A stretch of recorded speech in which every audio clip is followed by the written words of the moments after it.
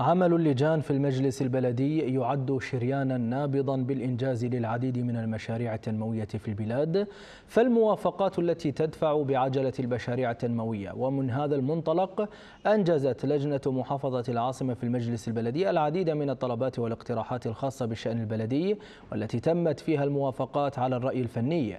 واعتمادها ليتصدر المشهد الموافقة على مشروع تطوير واجهة الشويخ البحرية المقابلة لمركز الشيخ جابر الأحمد أحمد الثقافي وبتخصيص مواقع للاستعمال التجاري المستقبلي هنا تناقش العديد من الطلبات والاقتراحات المتنوعة في الشأن البلدي فتعقد الاجتماعات ويتم الربط مع الجهات الحكومية المعنية للإعلان عن الموافقة الرسمية للعديد من المشاريع المنتظر إنجازها. وتطوير وتحديث الأخرى منها.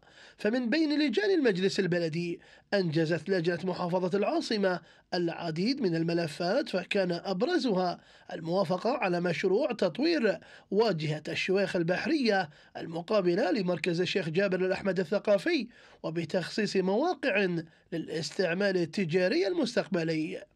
ومشروع يعني كمساحة ساحلية بمساحة الكلية 150 1766 متر مربع. طبعا وافقنا على هالمكونات. المشروع عبارة عن أربع مناطق four zones وفي المناطق هني أكو عدة أنشطة واستعمالات.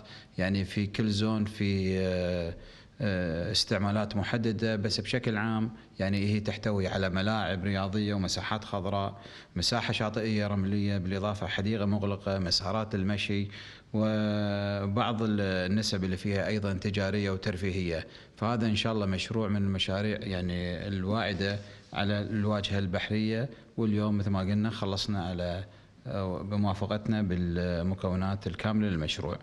كما وافقت لجنة العاصمة على الاقتراح المقدم من عضو المجلس البلدي فهد مساعد العبد الجادر بتخصيص ساحات الشويخ الصناعية لإدارتها عن طريق شركة إدارة المرافق العمومية.